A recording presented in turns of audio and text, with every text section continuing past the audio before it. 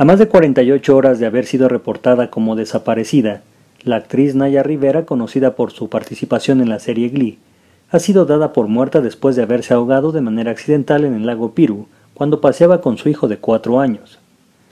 Autoridades de Ventura Country afirmaron que el operativo que se realiza es de recuperación y asumen que la actriz pudo fallecer por hipotermia o al quedar enredada con vegetación acuática. En tanto, su hijo fue entregado a su padre luego de que fue encontrado dormido con el chaleco salvavidas a bordo del barco. Al ser rescatado, el menor dijo a la policía que su mamá había estado nadando y no había regresado al barco. Las labores de búsqueda se extendieron por agua y aire, pero al momento no se tiene rastros de Naya. El departamento del sheriff difundió el video de la cámara de seguridad del muelle en donde se observa cómo Naya arribó al lugar con su pequeño hijo y tras varios minutos sale a bordo de un barco en el que se adentra al lago. Agencia Informativa de México.